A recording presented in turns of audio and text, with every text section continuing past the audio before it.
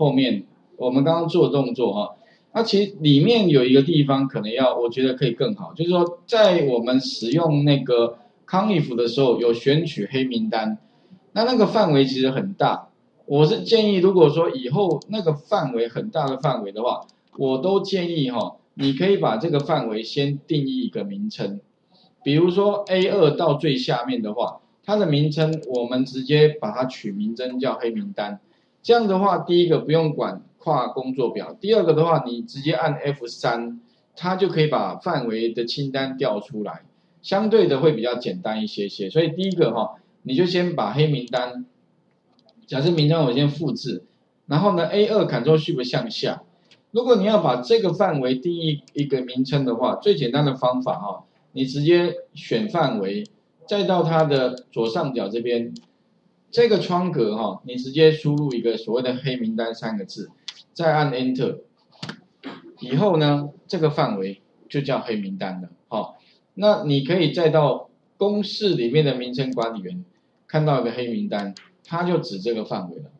那如果我要啊操作刚刚的动作的话，其实很简单，康以服对不对哈？只要是 Range，刚才要切嘛，现在不用 F 三。它会把你的清单调出来，以后呢就用什么黑名单来代替那个范围了。好啊，这样存取，其实后面还会提到了，蛮多地方都会这样用啊。以后就是 F 三调出这个，F 三调出那个，哎，自然而然你会发现做的就比较流畅一些些哈。然后呢，把 criteria 条件给他，哦，按个确定，向下填满，就做完了。不过还有筛选，好。那基本上哈，我们如果要录制剧集的话，请特别注意哦，先彩排，然后你要特别注意，就是你将来录制的时候，一定要先确认你将来按钮会放哪里，你要从那边开始，你不要哈，按钮本来在这里呀，结果你把它跑到这边开始，那这样子的话哈，它那个工作表会错乱哦，会将来城市一跑，奇怪怎么会没办法执行？因为你放错工作表，好，OK，这可能要注意哦。所以也许你彩排过了，好，那我们开始录制。那录制的名称呢，也许叫什么黑名单筛选。那比如说呢，我这边哈，诶，先给一个，你先不要用，哦，假假设啦，我们录录制给各位看一下，我大概就是 demo 一下。第一个录制剧集名称的话叫黑名单筛选，我先用这个名称，因为我刚刚这个名称已经用过了，好，按确定。好，那确定，同时你就要。开始注意，所有的动作都会变程式，所以你也不能录错，不然就 NG 了，要重来哈。按确定一，先切到查询名单，所以他会帮你录一行叫什么？序此查询名单点 select 哦。第二行游标放在 B 二，他会录一行叫 range B 二点 select。啊，再来你的公式哦，预先不用删掉，因为你直接怎么样在上面打个勾，他会帮你把这个 format 有没有啊？这个 formula formula 直接加到后面，不过会用什么 R one C one 好，然后呢再来的话向下填满，好，才把它向下填满 auto fit 啊 fill 然后呢再来就是筛选的话就是资料里面的筛选，然后把你要的一留下来，哦，所以把一打勾按确定，然后再到 A 二的地方 Ctrl Shift 向下。我建议不要用那个滑鼠拉，因为哈，如果用滑鼠拉的话，它会录到很多很多行，因为它什么 scroll 一直 scroll 哈，什么一堆的，所以建议是用快速键，Ctrl Shift 向下，Ctrl C，好，我也建议你用 Ctrl C 啊，因为好像右键复制好像也可以啦，只是好像比较容易出问题哈。切到查询结果的 A one，所以哈，切过来这个动作要做。再点击 A one 这个动作要做，因为它才会帮你录一行，Ctrl V 它帮你贴上，这样子就完成整个流程了。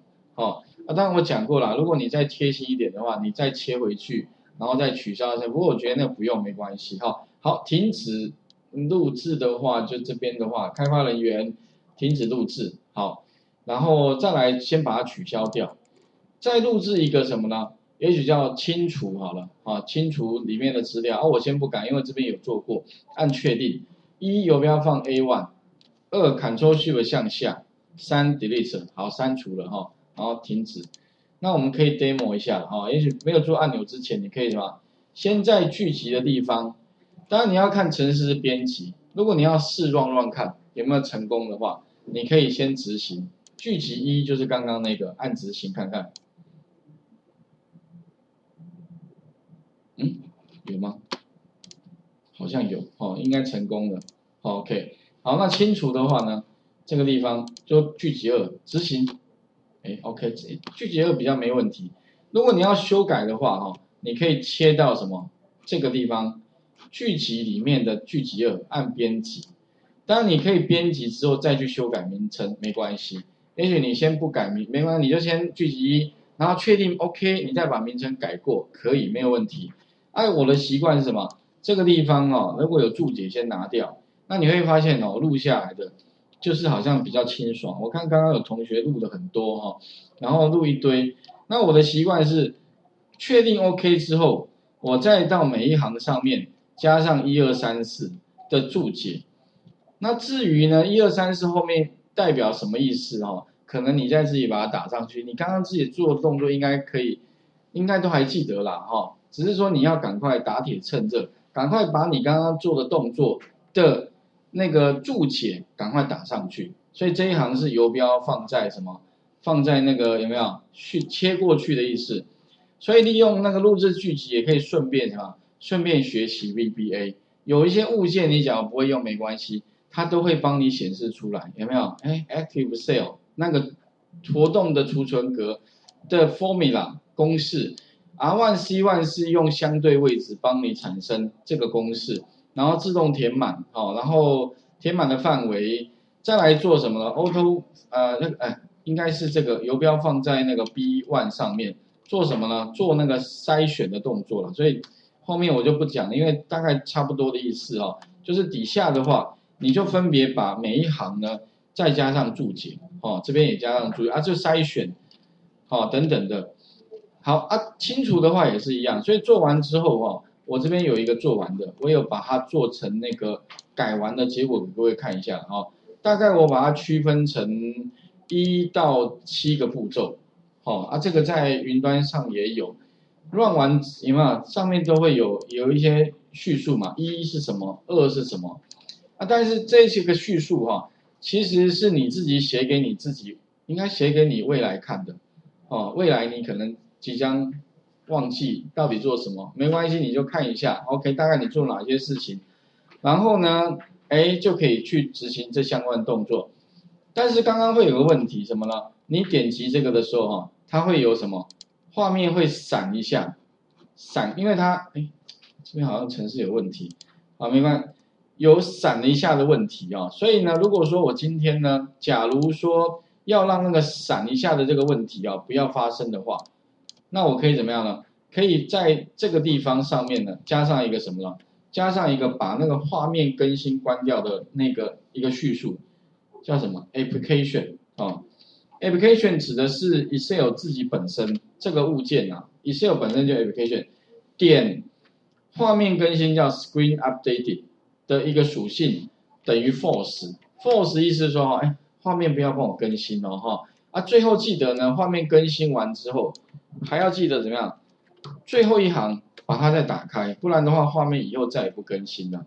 不更新的话会变得怪怪的。OK，那这样的话呢，它就不会有刚刚的那个画面闪动的这个问题。没关系，把这个先改一下，指定到那个聚集一好了。刚刚会闪动一下，那现在画面不更新，所以它做完直接过来了，它不会好像哎切过去。卡住一下，然后又回来那个感觉哈，所以最后这个 updating 哈，诶，主要是把那个画面更新关闭啊。这个刚刚我全部都把它放在云端上面，所以这边请各位哈，也许可以参考一下云端这边哦，就这一行啊，这个题目 OK 好，就这一行啊，记得尾巴也要再把它，记得把它怎样，把它再啊，把它打开哈，那其他清除。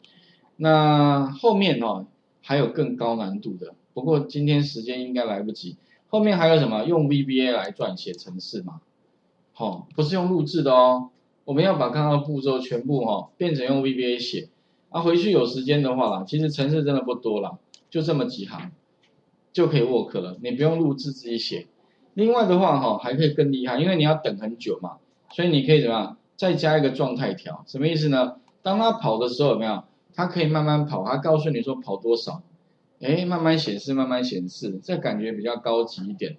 可是高级是要付出代价的哈，就是你要知道城市怎么怎么赚钱。啊，回去有时间的话，也许可以先把这部分先看一下，好。那下星期的话还哎不，下一次上课的话还有乐透彩，还有一个去抓那个网络大乐透的资料，像那个 Google 大乐透历史资料，你可以找到这个，总共有现在有历年来总共五十个 page 的资料在都在这里。如果你我希望呢一键按下去呢，可以自动把这五十个 page 全部都载到 Excel 里面的话，哎有没有什么简单的方法？有。哦，其实也是要录制剧集了哈。那请各位呢，回去有时间的话哈，可以先预习看看啊。如果有时间的话哈，啊，今天的话哈，就时间也差不多。今天的话就先讲到那个黑名单筛选。啊，回去啊，记得一定要再把那个这个这个哈，哎，今天的练习啊，一定要再再稍微再。复习过了，不然的话哦，后面可能会越脱离越远哦，所以这部分的话，请各位要特别的注意哈，记得一定要动手做哦。